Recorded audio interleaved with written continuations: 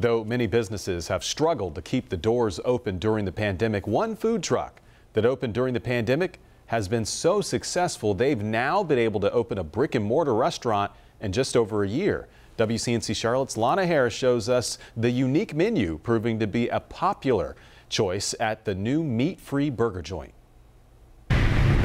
Since we opened, we had lines that come out our parking lot and up the street. A new burger place in Charlotte is becoming a surprising new fan favorite. Tried it once and I was hooked right after that. Surprising because their burgers are vegan. We are a full vegan establishment. That's from the cheese to the fries to the buns, everything. Co-owners Tigo Faulkner and Lamont Heath say their vegan burgers have actually drawn in more meat eaters. 80% of our customer base is not vegan. The two started Romeo's Vegan Burgers as a food truck during the pandemic that drew crowds by the dozens.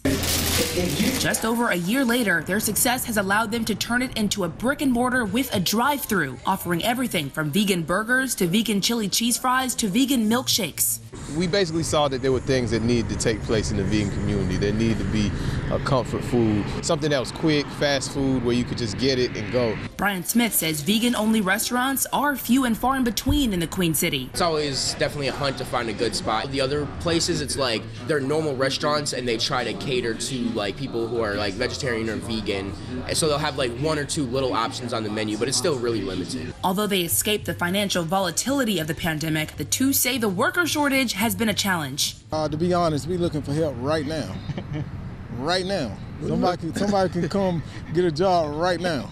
Cook, cashier, server, milkshakes, everything. Come help us. Yeah. we need help. Still, they say they're proud to bring a new option to the Queen City. Our plans are to keep going as far as this thing would allow us to take it. Lana Harris, WCNC Charlotte. And he made it abundantly clear they're hiring. If you'd like to check them out, Romeo's Vegan Burgers is located uh, in the boulevard between Archdale Drive and Tyvola Road.